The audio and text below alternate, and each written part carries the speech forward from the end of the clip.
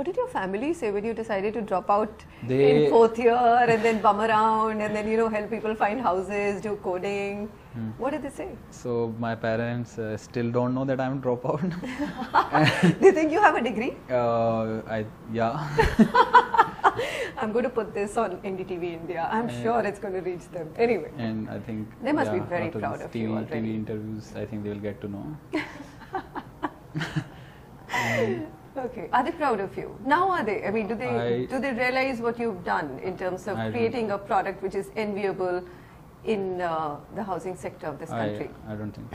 No. Does your sister? And Mm, partially. partially.